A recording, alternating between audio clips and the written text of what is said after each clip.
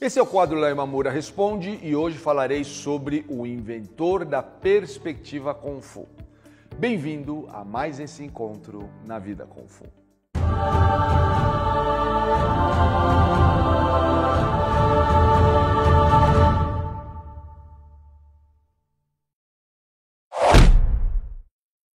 Antes de começarmos, quero falar sobre a jornada Kung Fu. Do que se trata a jornada Kung Fu? É uma semana especial onde traremos materiais exclusivos e inéditos sobre o sentido amplo do Kung Fu. Por isso, se você é praticante ou entusiasta das artes marciais ou não, não importa, você irá se beneficiar dessas estratégias para a sua vida. Para que você possa receber todas as informações, cadastre-se no link aqui na descrição. Ah, e um detalhe importante é que essa semana é gratuita. Vamos à pergunta de Universo do Cangaço. A perspectiva de vida Kung Fu surgiu com Muyat ou Ip Man? Ou antes? Obrigado, mestre. Universo do Cangaço. Sua pergunta tem vários núcleos que eu gostaria de discutir. A primeira é com relação ao sentido amplo de Kung Fu, que foi trabalhado no seu ápice pelos neoconfucionistas, que são aqueles pensadores que viveram na dinastia Song e Ming. E lá eles consideravam o Kung Fu toda essa manifestação de aprendizagem para com a vida, no seu sentido mais amplo. E com isso desenvolvemos aquela ideia que chamamos de Sanfat ou Shinfat em mandarim. Essa evolução foi incorporada em muitos sistemas de Kung Fu e em muitas formas de aprendizagem. O patriarca Moyat, por exemplo, recebeu isso do patriarca Ip Man. Então, o patriarca Moyat, quando vem para os Estados Unidos, ele então utiliza o termo vida Kung Fu para se referir a esse tipo de aprendizado que ele teve com o patriarca Ip Man. E aqui nós temos o segundo núcleo da sua pergunta.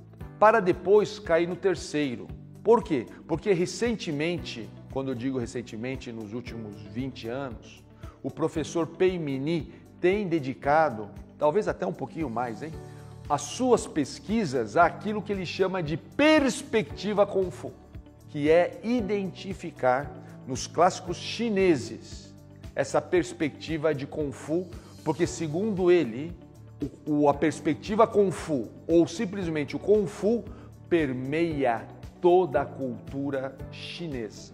Então, aqui, para responder a sua pergunta, fica bem claro: nós não temos nem com Iman e nem com Moyat como inventores da vida Kung Fu, mas eles foram grandes propagadores. É muito interessante as pessoas verem Ip Man sempre como um grande lutador, mas são poucas as pessoas que podem dizer que viram ou ouviram alguma situação de Ip Man em combate. Percebam bem isso. Mesmo porque o patriarca Ip Man chegou em Hong Kong com 56 anos de idade e já tinha sabedoria suficiente para saber evitar esse tipo de situação. Quero lembrar aqui uma história não verificada do próprio patriarca Ip Man, quando ele, quando mudou para Hong Kong, ele não tinha água encanada. Então, ele precisava buscar com aqueles baldes né? E com aquela haste que você coloca, você já deve ter visto em filmes é, chineses, né? A água quando a pessoa coloca aqui se equilibra. E ele foi buscar água, né? Numa fonte para que pudesse então levar para sua casa. Quando chegou lá, uma pessoa, um gangster, chutou um dos baldes e a água derramou. O que que o patriarca Ip Man fez? Ele simplesmente pegou o balde e encheu de novo, ignorando totalmente a agressão desse gangster. E foi embora sem ao menos olhar para o seu rosto. Curioso, o gangster perguntou: quem é aquele senhor que simplesmente não ficou afetado pela minha ação? E eles responderam: esse é Ipan, o grande mestre de Índio. Então, é dito que no dia seguinte, quando o imã foi buscar, mais uma vez, água para suas necessidades, havia dois baldes cheios na sua porta. Isso mostra o poder do Kung Fu. E observe que é um poder que não foi usado a partir de uma agressão, a partir de uma reação física infantil, como muitas vezes se espera quando assistimos alguns filmes de artes marciais.